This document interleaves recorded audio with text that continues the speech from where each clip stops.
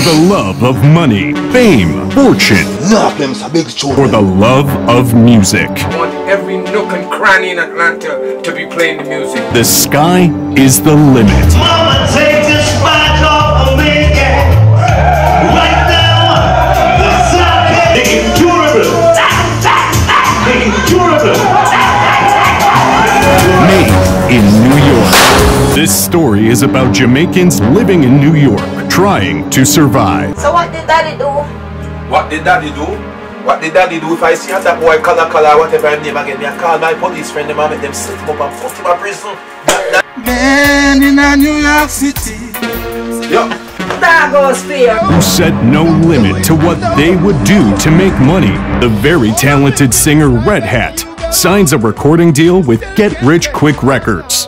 Walla Walla, who decided to wait for his big I'm break, prepared to give you 350,000 signing.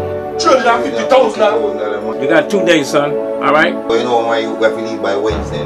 and not take the gangster way out, gets a link with Brown Sleeve Records, but didn't make it. His wife Serafina got scared for her life after being attacked by a notorious gangster who goes around intimidating selectors to play Mr. Big's tune.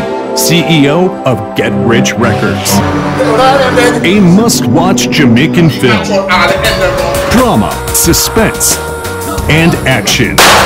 And also hilarious. You know what you want to see a Jamaica boy? Made in New York.